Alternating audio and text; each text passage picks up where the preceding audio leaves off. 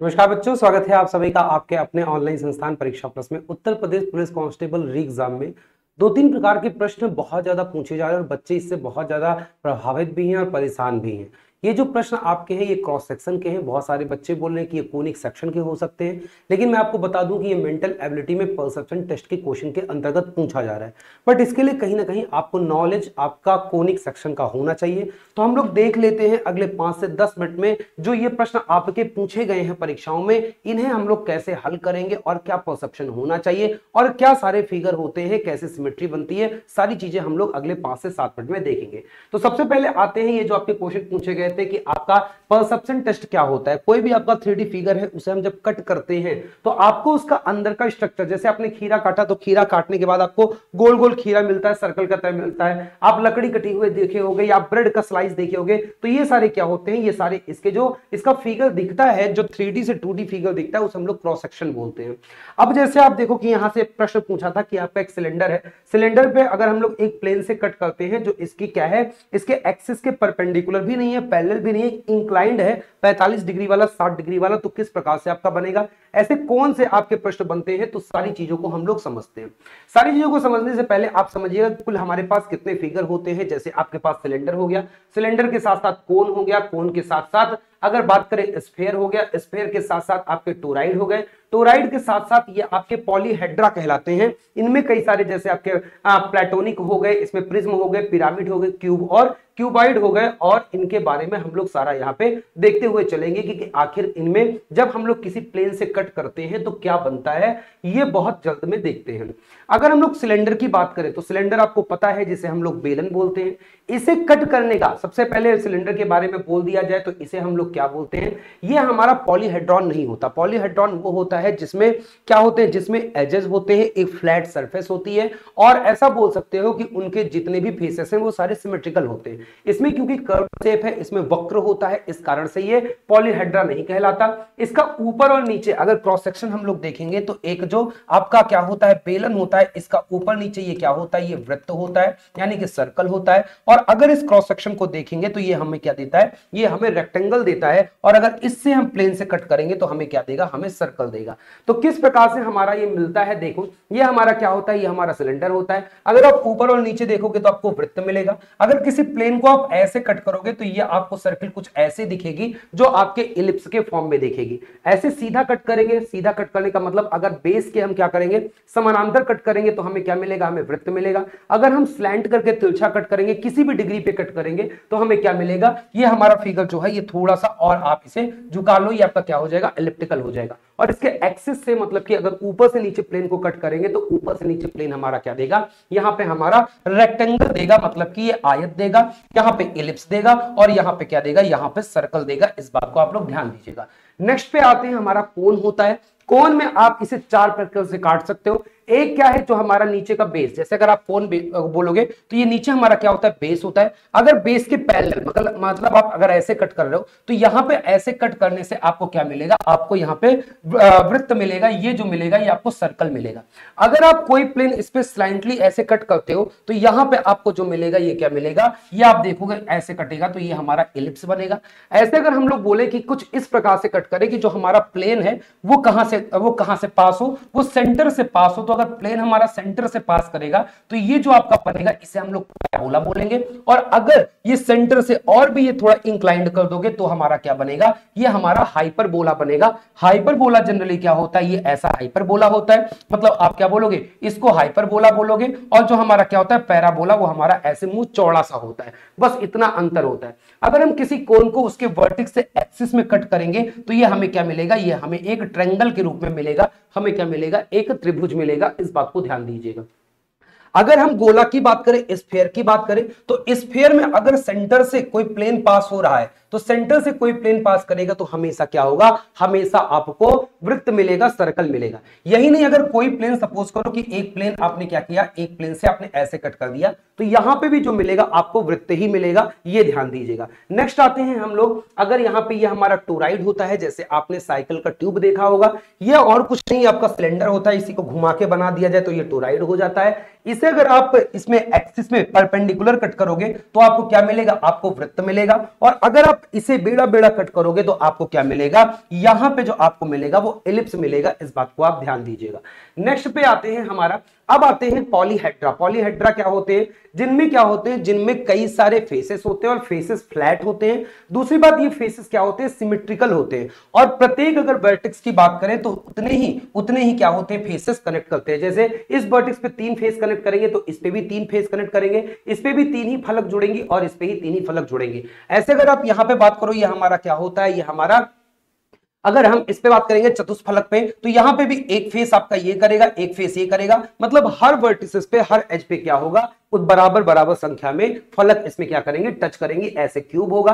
तो इनमें से जो हमारे पॉलीहेड्रा होते हैं, एक होते हैं प्लेटोनिक सॉलिड प्लेटोनिक सॉलिड वो होते हैं जिनमें ये सारी जो सर्फेसेस हैं, जो ये सारे फलक हैं, ये सिमेट्रिकल हो। मतलब एक अगर त्रिभुज है तो सारे त्रिभुज होंगे। एक अगर आयत है तो सारे आयत होंगे। एक अगर वर्ग है तो सारे वर्ग होंगे। एक अगर आपका क्या है, त्रिभुज, एक अगर पेंटागन है तो सारे पेंटागन होंगे। एक अगर हेक्सागन है तो सारे हेक्सागन होंगे। मतलब कि सारी के सारे जो फलक हैं, वो एक ही जैसे हो जाएँगे। तो उन्हें हम लोग प्लेटोनिक सॉलिड बोल देंगे। केवल पाँच प्रकार के प्लेटोनिक सॉलिड होते हैं, जिनमें आपका क्या होता है? जिनमें आपका एक चतुष्फलक होता है, एक आपका क्यूब होता है, एक आपका यहाँ पे बोल सकते हो पंचफलक होता है। यह आपका क्या हो जाता है? यह आपका ऐसे ही आइकोसो हेड्रॉन के बारे में सुने होंगे और इनके बारे में पढ़ेंगे। बाकी प्रिज्म होता है और प्रिज्म के साथ पिरामिड देखेंगे। तो एक एक करके हम लोग जल्दी से देख लेते हैं। जो हमारे प्लेटोनिक सॉलिड होते हैं, पाँच प्रकार के हैं। एक आपका टेट्राड्रॉन है, दूसरा क्यूब है, यह हमारा ऑक्टाहेड्रॉन है, यह हमारा डोडिका हेड्रॉन है और यह हमारा क्या है? आइकोसा हेड्रॉन है। एक एक को पढ़ेंगे तो अगर हमारा क्यूब होता है, क्यूब में क्या होते हैं? एक वर्टिक्स पे, एक वर्टिक्स पे तीन स्क्वायर मिलते हैं।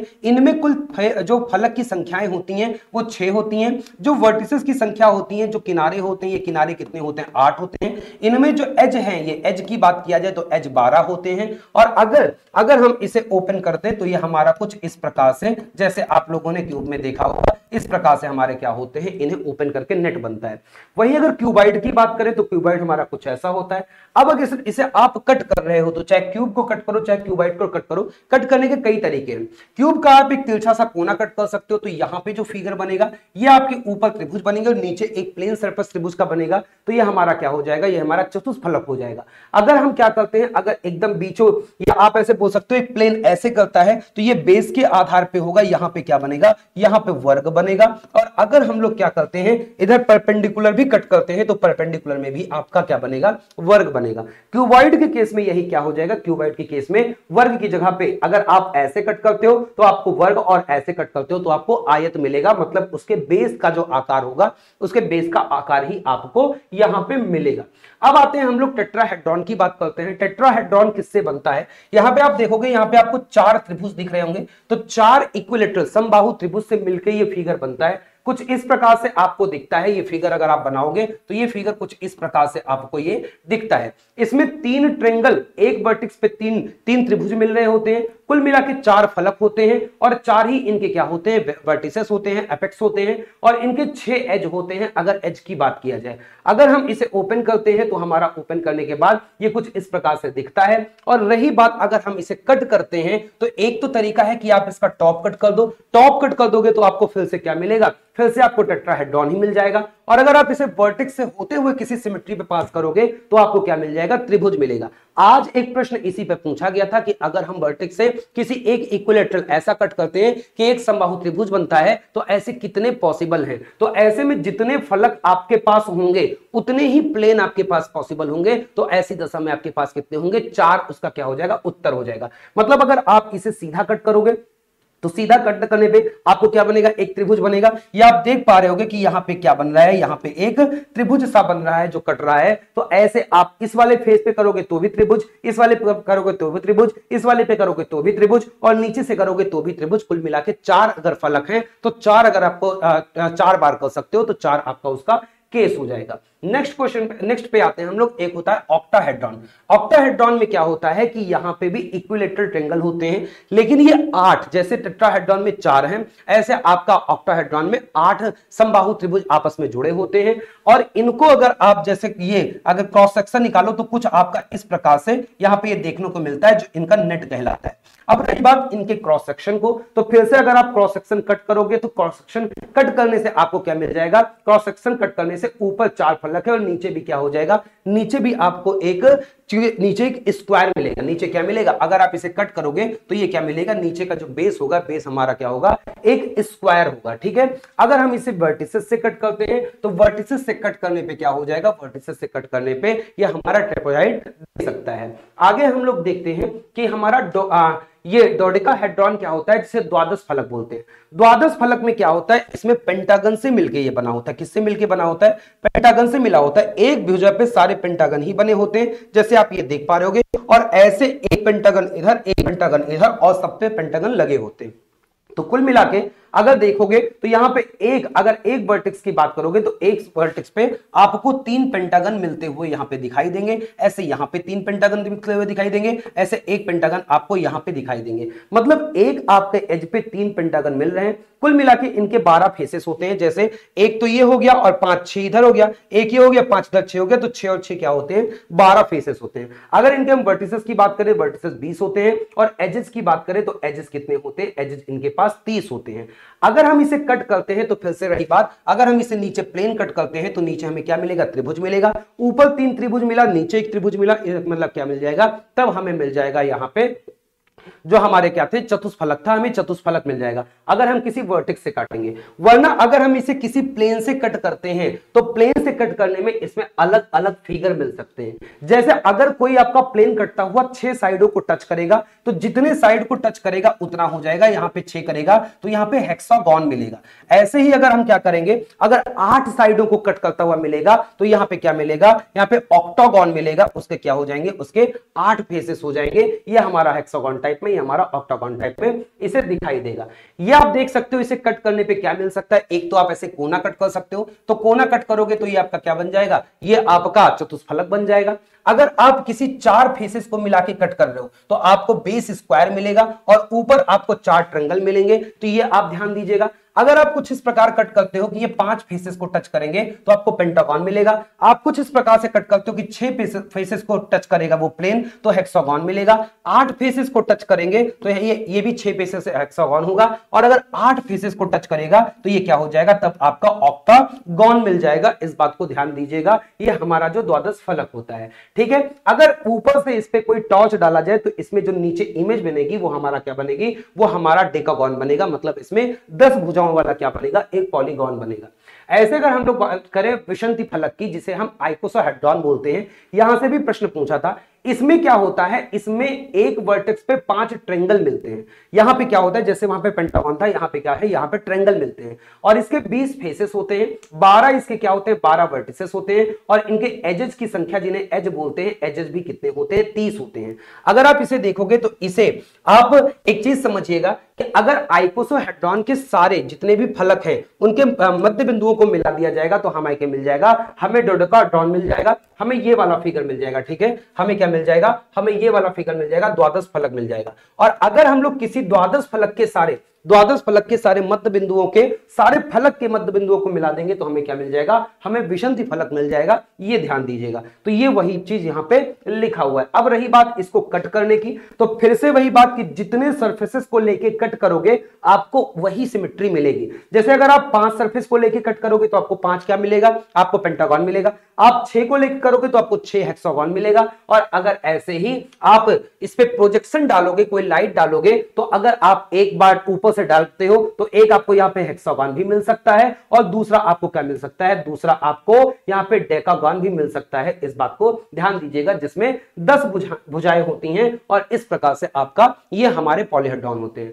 अब रही बात स्क्वायर प्रिज्म की तो स्क्वायर प्रिज्म में जो इसका बेस होता है, ये स्क्वायर होता है। इसे हम किसी ऐसे प्लेन से कट करते हैं जो इसके पैरेलल होगा बेस के। तो हमें क्या मिलेगा? हमें वर्ग ही मिलेगा क्रॉस सेक्शन वर्ग ही मिलेगा। अगर हम ऐसे कट करते हैं, ठीक है स्क्वायर प्रिज्म में तो हमें क्या मिलेगा? क्योंकि ये स्क्वायर प्रिज्म है, जिसे हम क्यूब भी बोल सकते हैं तो इधर से भी हमें क्या मिलेगा? स्क्वायर ही मिलेगा।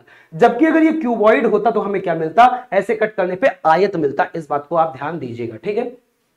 नेक्स्ट आते हैं प्रिज्म क्या होता है? ए प्रिज्म भी कई प्रकार के होते हैं, जैसे ये बेस के आधार पे होते हैं। अगर आपको बेस त्रिभुज दिख रहा हो, जैसे ये ये मान लो बेस है, और इसी को हम लोगों ने बढ़ा दिया तो जो बेस है, अगर बेस त्रिभुज है तो इसे ट्रेंगुलर प्रिज्म बोलेंगे। अगर बेस क्या है पेंटागन है तो इसे पेंटागोनल प्रिज्म बोलेंगे। अगर बेस स्क्वायर है तो हम स्क्वायर प्रिज्म बोलेंगे, जिसे आयत, और हम लोग क्या बोलते हैं, हम लोग क्यूब और क्यूबाइड भी बोलते हैं। और इन्हें जो हम कट करने की जो सिमेट्री होती है, इन्हें कट करने की जो सिमेट्री है, ये भी, आप अगर किसी फेस के पैरेलल में कट करोगे तो आपको वही बेस का शेप मिलेगा। लेकिन अगर आप ऐसे कट करते हो मतलब कि उसके पैरेलल में एक्सिस से कट करते हो तो आपको क्या मिलेगा? ट्रेपोजॉइड मिलेगा। क्या मिलेगा? ट्रेपोजॉइड मिलेगा। ऐसे सिमिलरली इसमें, अगर आप किसी वर्टिकस के पैरेलल में करते हो तो आपको ट्रेपोजॉइड मिलेगा। और अगर आप सीधे कट करते हो तो आपको क्या मिलेगा? आपको यहाँ पे पेंटागन ही मिलेगा, या जो बेस है आपका, वही मिलेगा। अंतिम फिगर हम लोग देखेंगे पिरामिड पिरामिड क्या होता है? पिरामिड में जैसे आपका प्रिज्म है, नीचे बेस कुछ हो सकता है।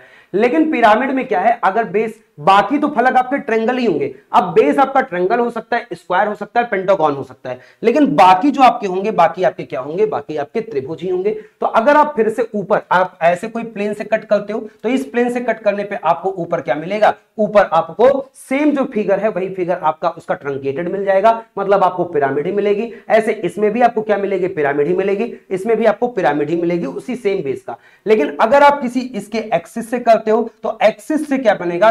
त्रिभुज भी बन सकता है और एक्सिस से ट्रेपोजाइड भी बन सकता है। तो ये हमारा प्लेन सिमेट्रिक इसे कट करेगा। तो उम्मीद है कि इस वीडियो के बाद आपको बहुत सारा फ़ायदा मिलेगा और मैं इसके बहुत सारे क्वेश्चन भी आपको बहुत जल्द करवा दूँगा। तो आज के सेशन में बस इतना ही। फिर मिलूँगा। धन्यवाद सभी का।